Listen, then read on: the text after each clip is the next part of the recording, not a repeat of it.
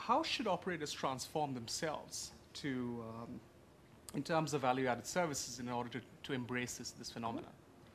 Well, so of course, operators have always had competition. I mean, Mhm. they've always faced competitors.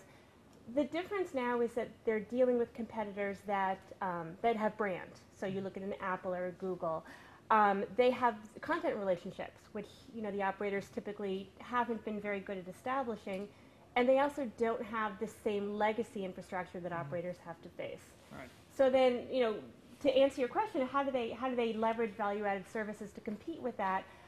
I- think they really need to understand what they have at their fingertips and what kind of assets they can they can capitalize on. Um, you know, things like uh, presence information, APIs that they can expose, and you know, then you have things like subscriber information. Mhm. So I- think it becomes important for operators to figure out what kind of strategy they want to take. Do they want to partner with the over-the-top providers, possibly providing them things like QoS guarantees or subscriber data? Um, do they want to create their own content ecosystems, or you know, do they simply want to be the pipe? Um, I, I would say that most operators are not going to pursue that strategy, but I think you're always going to get some subset that figure that's their best business model. So it just there's no one size fits all strategy. I see. Uh, apart from all these uh, internet, internet-based um, applications that are and services that are, posing, posing threats to the operators, um, what other factors do you think are now driving operators to transform themselves in the VAS space? Number one factor is churn. Um, you know, if you look at some of the, the developed markets, they're rapidly hitting their saturation point, particularly in the mobile space. Um, the more emerging markets, you see very rapid subscriber growth, very hyper competitive markets. Uh, what operators have found, though, is that the, the larger number of services they can sell to a subscriber, the stickier that relationship becomes. So they're really looking for ways to, to maximize the number of services they can sell and, and really um, improve their retention that way. And, and I think the other factor is, is revenue per user. I mean, we're seeing ARPU flat or even declining in some markets. Um, price pressures are, are really uh, affecting operators, particularly in, in markets like North America, where you know they've really gotten to the, the all-you-can-eat model and, and not being able to to uh, increase prices due to the competition. So they're looking for ways to, to increase that revenue per user by you know, additional services and value-added services. Can you give us a couple of uh, successful examples of VAS transformation? What, what were the goals and, and how were they achieved? It's hard to do that just because a, a transformation like that isn't an overnight process. It, it's definitely an ongoing thing. Um, and I think even those operators that have been very aggressive about it are still in the very early stages. Uh-huh. And there's different approaches. So you look at someone like a Telefonica, for example, which is really actively pursuing a, a digital app marketplace approach. Um, and then that's really targeting the consumer market with value-added services.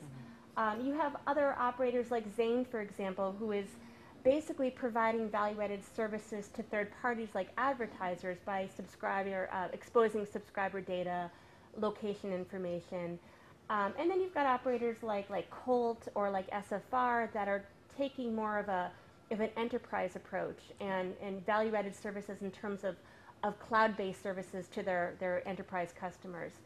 So um, you know, there's certainly a, a, number of ways to approach this opportunity, and I think it's an ongoing transformation project within most operators. I see. Now, we all know about the, the wholesale applications community formed by some operators in order to uh, compete with application stores from Apple or Google. Uh, what would you say are the advantages or the disadvantages of the operators in such an approach? Well, I'd say the primary disadvantage that are facing operators now is they're late to the market.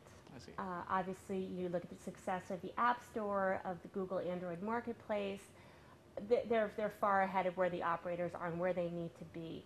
And the other primary issue is, is brand. Um, everyone knows the Apple App Store. Um, operators are really going to need to, to play catch up with that. Um, what operators have, though, is, is, really that, that relationship with the subscriber. They have subscriber information, they have the direct relationship with the subscriber, and, and I think that's going to be their primary advantage in, in creating their App Store strategies. Um, and the advantage to something like the WAC is it sort of lets them abstract that uh, developer relationship, Right. which is something that has historically not been um, not been their core competency. So, Sure. you know, what the WAC does is really enable them to to hand that off to a third party. How do you view operators' investment in, in SDP? I mean, how vital is SDP to uh, VAS transformation? I think the SDP needs to be the basis of a VAS transformation strategy. Um, you know, typically services have been delivered in, in very vertical silos. You've got a video service delivered over a video-specific um, network service delivery environment. Same thing with voice. Same thing with data. Right. Um, with value-added services, the idea is that you're able to be more creative in combining services, cross-sell and upsell and packaging, and that's really the, the point behind a service delivery platform is more of a horizontal services layer. So I, I think if you're really looking to do a, a comprehensive value-added services strategy, you need something like a service delivery platform.